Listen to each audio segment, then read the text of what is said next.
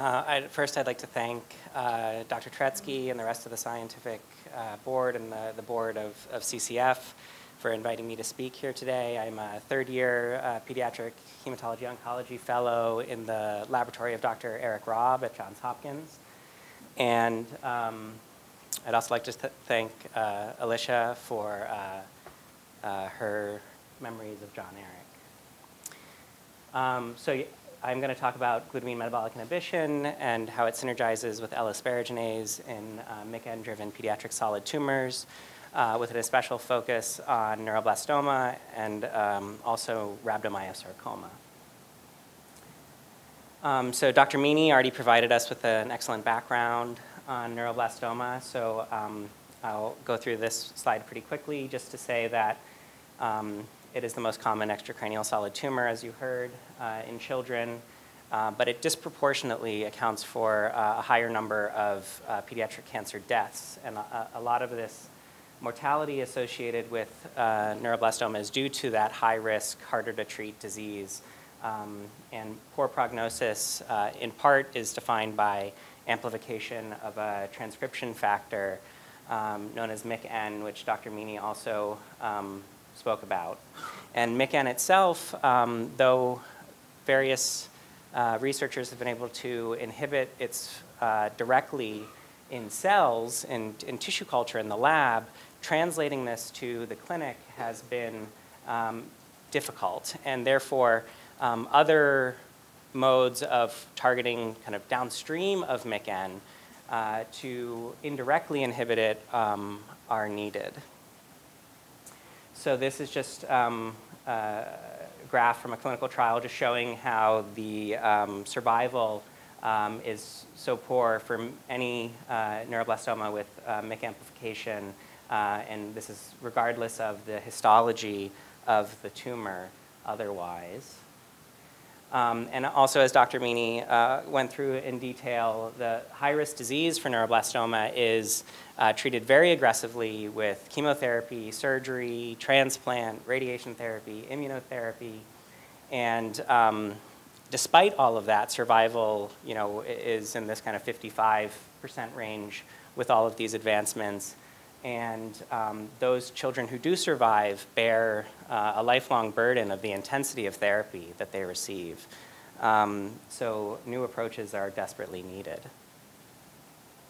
So um, looking kind of in the literature uh, for what things downstream of um, amplification we could possibly uh, target uh, to indirectly affect the function of MYC itself, um, we investigated glutamine metabolism um, because um, downstream of MYC-N you get a reliance on glutamine for cellular metabolism in tumor cells, which um, glutamine uh, is, serves many functions um, to help tumor cells grow and proliferate and evade cell death.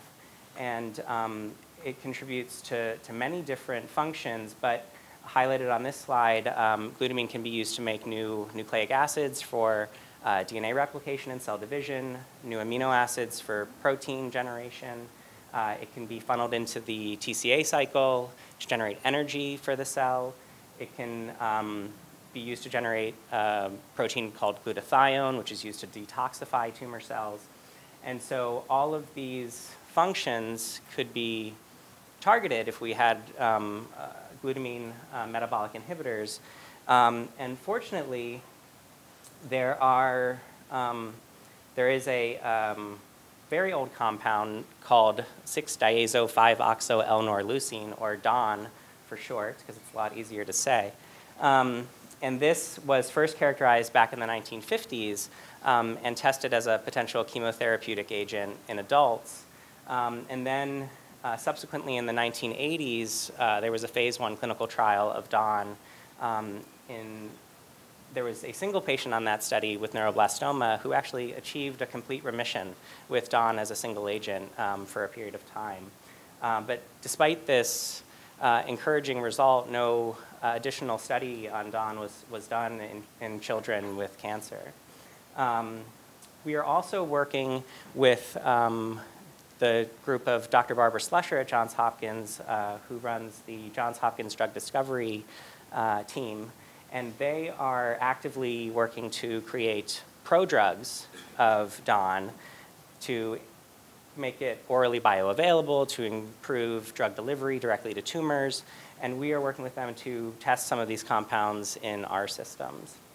Um, so for the purposes of this talk, I'm going to talk about four cell lines uh, that I've worked with, uh, two that are MYCN amplified, uh, BE2C and IMR32, and two that are not uh, amplified, SY5Y and SKNAS. And um, you'll see these names as we go through the slides. So um, just as a first uh, look to see if DON uh, has an effect on the growth of neuroblastoma, and uh, specifically a greater effect on MYCN amplified cell lines, we just did a, a, basic growth assay called an MTS assay and saw that um, the MYCN amplified cell lines were more sensitive to DON treatment than the MYCN non-amplified cell lines. Um, then kind of parse out what DON was doing. We first looked at proliferation using a compound called BRDU, and just for simplicity, this is a compound that labels dividing cells, cells with undergoing DNA replication. And we saw that MYCN amplified neuroblastoma cell lines had a decrease in proliferation in response to DON treatment, whereas MYCN non-amplified cell lines were unaffected. Then to look at cell death, we did uh, a couple of different assays for apoptosis, um, one looking for uh, cleave caspase 3 staining in cells, another looking for cleave PARP, which is another uh, protein in the apoptotic cascade. And we saw that in MYCN amplified cell lines, DON treatment leads to increases in cell death, um, but the MYCN non-amplified cell lines were again unaffected by the glutamine metabolic inhibi inhibition.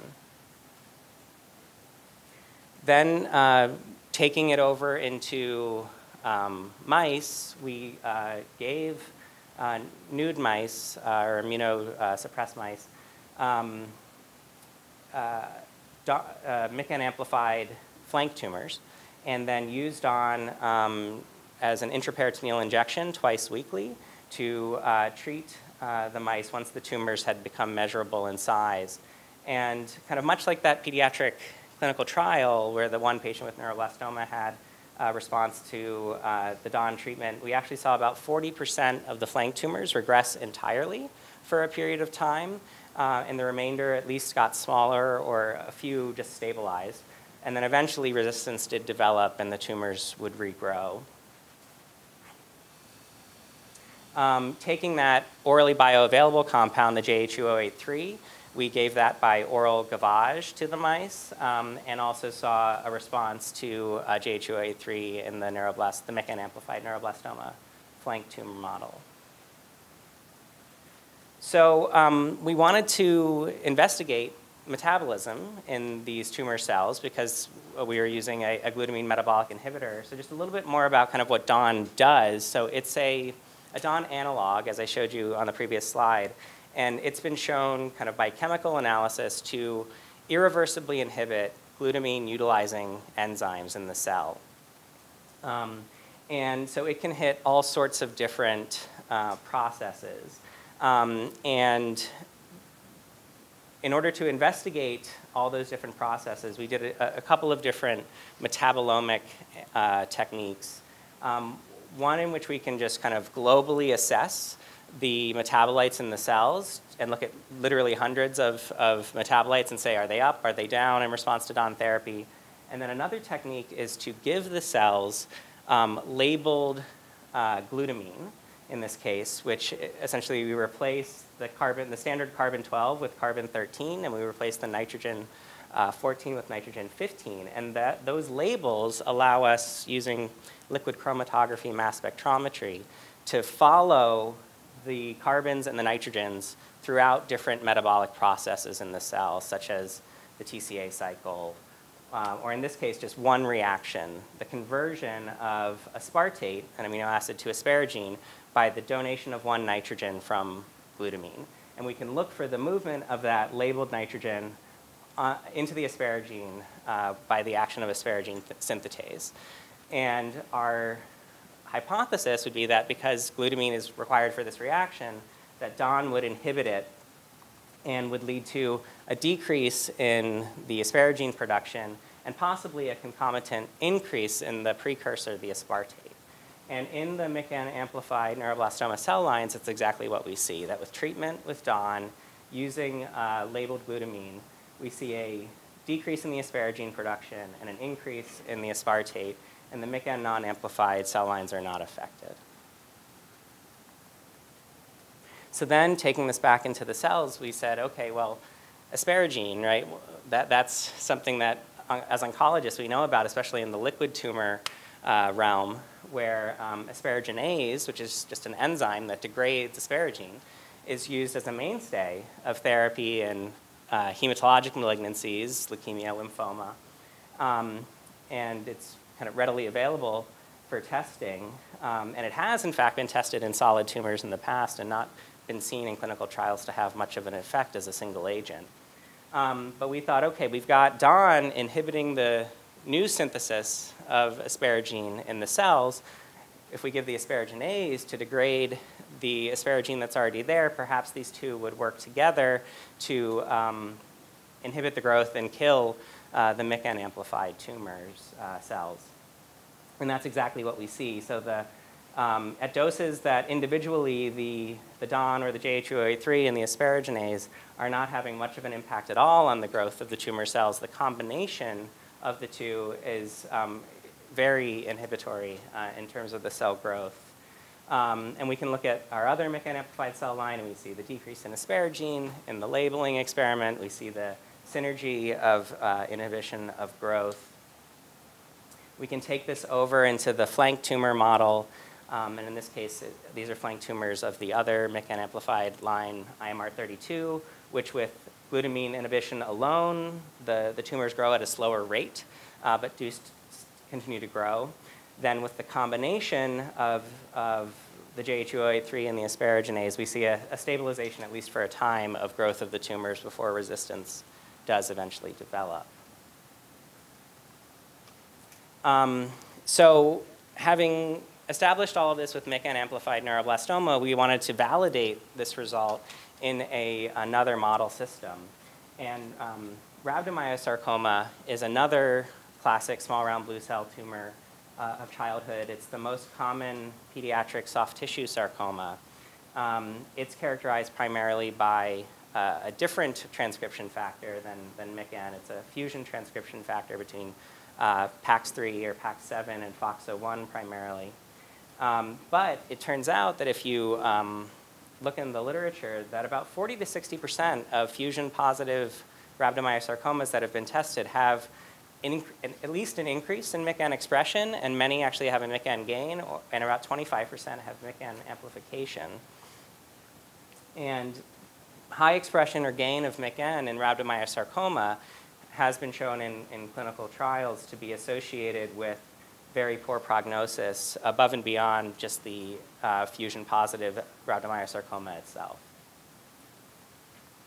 So we thought this was a pretty good system to validate our results with um, DON and asparaginase um, that we had seen in the neuroblastoma. And so we took a couple of cell lines, um, RH30, which has MYCN amplification in rhabdomyosarcoma, RH41 has MYCN gain, um, and compared it to a, a non-MYCN uh, high line and saw again, in just a standard growth assay, that they were more sensitive uh, with high MYCN to uh, the glutamine metabolic inhibition using DON. We saw decreased proliferation, increased apoptosis using those same assays I discussed before. Um, then using the DON as a single agent in um, flank tumor models, we see that the MYCN amplified rhabdomyosarcoma line grows more slowly with uh, DON therapy, again by intraperitoneal injection twice weekly. Whereas the non-amplified rhabdomyosarcoma line is insensitive to DON therapy um, in the flank tumor model.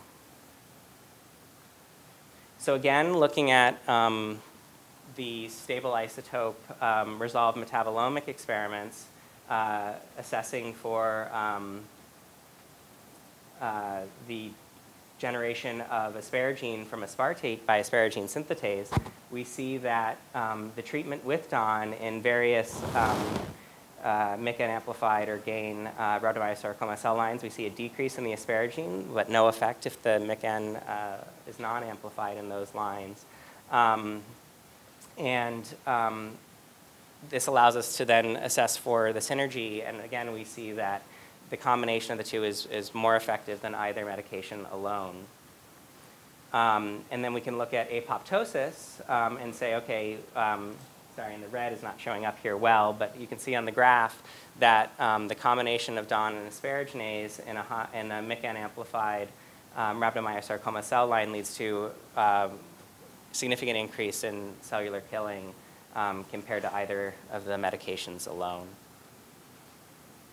So um, trying to figure out the mechanism of how um, asparagine depletion is leading to increased cell death. Again, we looked to the literature and um, found the, uh, what's called the uncharged tRNA or integrated stress response. So this is um, a process that cells have to sense uh, depletion of key nutrients. So in this case, um, with, when asparagine is low, you get what's called an uncharged tRNA. So tRNA is kind of part of the translation machinery to make um, new proteins. And if you can't load the, the, tRNA with the amino acid that goes with it, um, there's a signaling cascade that gets set off going through these proteins that are listed, GCN2, which is a kinase, ATF4, which is a transcription factor. And so the normal response is what's on the left side. So the transcription factor ATF4 senses through GCN2 that the, there's no asparagine around, so it tells asparagine synthetase, make more asparagine. And then that shuts off the right side of the pathway, which is to send the cells to, to die. But if you have asparaginase around, then asparagine is depleted, and um, the pathway tries to go down the left side and make more. But then if DON is there saying, asparagine synthetase, I'm not going to let you do your job, then the cells are forced into uh, an apoptotic cascade.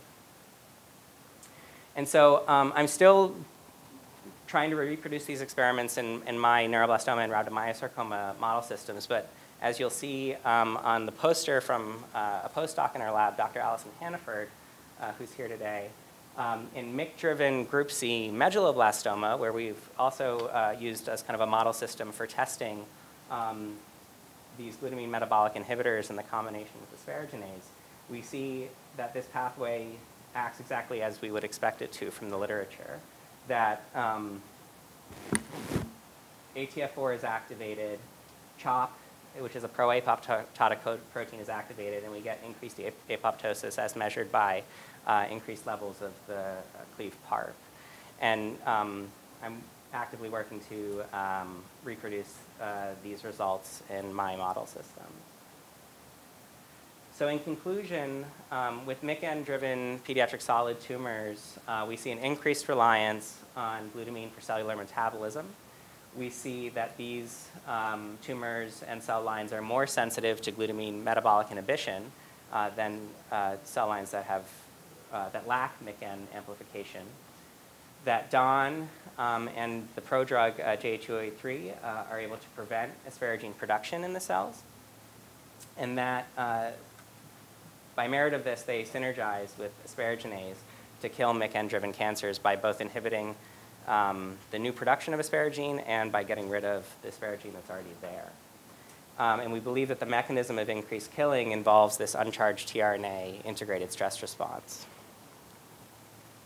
So um, in terms of my neuroblastoma work, that's farther along, and um, we're in the process of getting that ready for publication. In terms of the rhabdomyosarcoma, that's a little bit more preliminary, and I'm still working to validate um, the synergy both in vitro and in vivo, and uh, to confirm um, with in vivo metabolomic experiments using the flank tumor models that asparagine is depleted in response to glutamine metabolic inhibition. Um, and then as I mentioned, verifying that the uncharged tRNA response is, is the mechanism by which these cells are, are dying. The translational potential of this project is, is um, significant. Um, we believe that um, this work provides the preclinical justification for the use of DON in um, pediatric MYC-driven solid tumors. And we are in the process of exploring um, new DON clinical trials in carefully selected patients that we would expect to respond to this therapy. Then, as I said before, we're working closely with the Johns Hopkins Drug Discovery Group to develop new prodrugs of DON that are, you know, in the case of JH-083, orally bioavailable, but there's also ongoing efforts to develop tumor-directed DON prodrugs that would uh, preferentially uh, affect the tumor cells and uh, spare normal uh, cells. And then um, the efforts of Johns Hopkins Drug Discovery ha have led to the founding of a, a company called Dracen Pharmaceuticals. Um, and they recently uh, secured $40 million in venture capital, venture capital funding and um, are actively working to develop clinical trials for the Don Pro drugs themselves. Um, so I'd like to thank uh, the members of uh, the Raabe and Eberhart Labs. Specifically Allison Hanaford, whose work on medulloblastoma has inspired some of the work that I've done on neuroblastoma and rhabdomyosarcoma. And then we have a metabolomics expert in the lab, Brad Poor, who has helped me a lot with the um, learning metabolism and um, how to do all of those experiments. Um, and then I'd also um, like to acknowledge CCF for providing funding for uh, Dr. Raabe and, and, Dr. Rubens in our lab. And then also we've had funding support um, for the neuroblastoma research from Alex's Lemonade Stand and the NCI SKCCC core grant.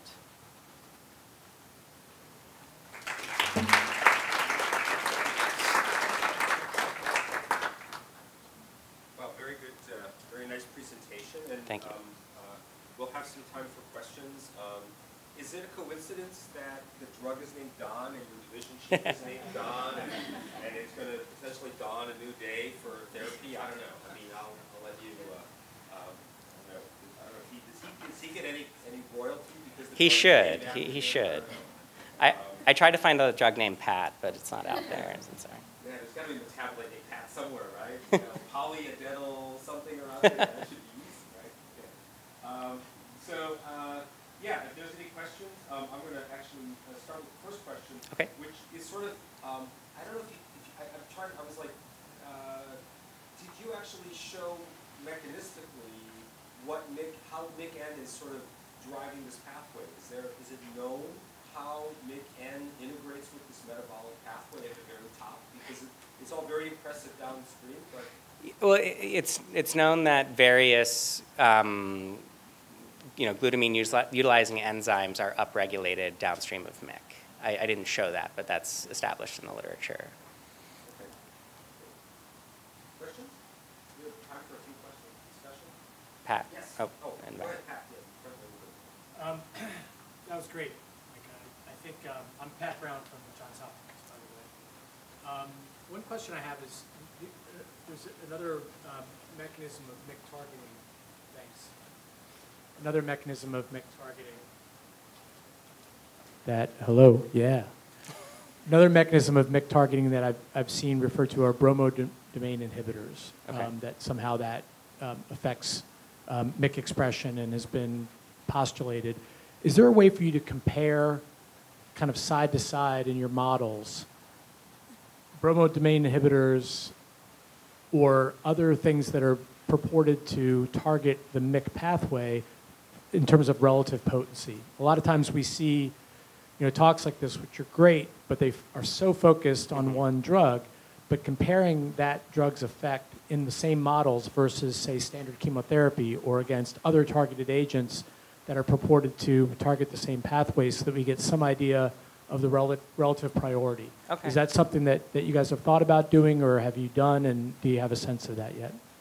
It's not something I've thought about doing. Um, certainly, the bromodomain inhibitors are, are the kind of leading direct kind of MYC inhibitors that, that have been developed um, and are used um, to, to good effect in the laboratory setting, but haven't really translated clinically. Uh, I have not uh, considered in the past doing a side-by-side comparison, um, but it's certainly worth considering. While the mic is going back there, I have another sort of interesting thought. Um, You may or may not be aware, but taking meta, you know, taking metabolites or nutrients out of tumors um, in neuroblastoma has actually been an idea for a really long time. And One of the metabolite, one of the nutrients that people pulled out back in the eighties and the nineties was iron. Okay. And there's a lot of really impressive studies in neuroblastoma, at least in cell lines and animal models, showing that chelation of iron hmm. is also a a cru- crucial, um, you know, uh, nutrient or element for the, for the tumors to grow. Have you thought about combining any of the iron chelation strategies with this as another way of, um, sort of two hits of, of inhibiting tumor growth? So iron specifically, I have I've not thought about that, and I'll, I'll need to look into that uh, literature. But um, there have been efforts in other solid tumors, um, kind of more on the colon cancer, lung cancer side of things on the adult side, where they combine glutamine metabolic inhibition, inhibition with um, glycolysis inhibition and fatty acid inhibition, and, and the combination of different metabolic inhibitors in that respect have shown kind of combinatorial and per- perhaps sometimes synergistic effects by just hitting metabolism at multiple nodal points that the tumor cells need to survive. Um, but iron specifically is not something that I, I, I personally have seen combined with glutamine metabolic inhibition, and I'm not very familiar with that literature, uh, but it's, it sounds like something that's worth looking into. You back? Je- Jesse, your question? Oh, who, the next question? So the microphone. Any other questions? Yeah, Brian. You mentioned a clinical trial for Don. What was the toxicity profile of that trial? Sure. So the original adult clinical trial in the 1950s for Don, the, the biggest toxicity was GI in terms of nausea and vomiting. Um, but then actually in the pediatric clinical trial, um, GI toxicity was not prominent, um, and there was some um, myelosuppression that was fairly mild, and um, they actually did not uh, reach a tolerability limit. There was no maximum tolerable dose in the pediatric clinical trial. Laura, we're doing a workout. Yeah, go ahead. Um, Sure. So Micah, that- that's a great thought. Um, something that families and patients ask me a lot, and I don't know the answer to this. Um, th- they ask if there is a particular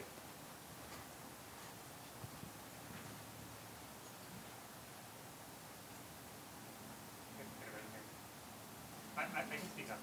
So, um, patients and their families have asked me if there's a diet that they should subscribe to, you know, over the course of cancer treatment, and dietary modifications can affect cancer cells. This would suggest that modulating, let's say, glutamine levels or other, is conditionally essential, some amino acids are really essential, that modulating this in the diet could potentially affect tumor growth. Are there non-pharmacologic ways of effecting this? Um, so the question was, um, is there, based on this, these results, is there a dietary kind of metabolically based uh, uh, recommendation that we could make to patients for how to help to prevent their tumors from growing? Um, and, and, I mean, the real answer is if you were going to, the, the, tumors are, are very good, right, at getting the essential nutrients that they need um, from the organism as a whole. Um, and in order to deplete glutamine on an organismal level, like a, for the child, to an extent that you would affect the tumor growth, you it would be too harmful to the individual um, in that process. And, and um, so I don't believe there's any dietary modification you could make based on these results that could um, impact the tumor growth because um, it would just be overall too damaging for the individual.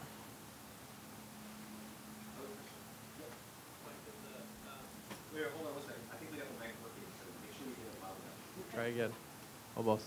Um, Micah, so the, I've, we've talked about this before. So when tumors become resistant to this, do you, do you think it's that apoptotic mechanism that's maybe faulty, or are the cells just switching to a different metabolic pathway?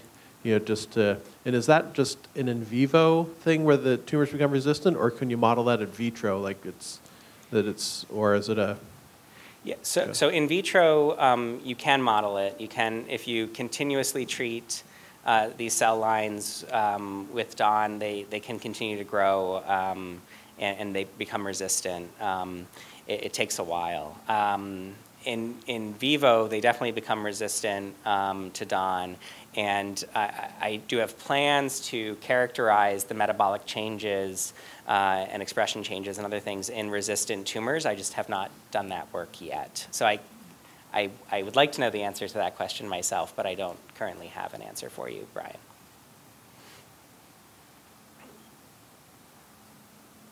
All right.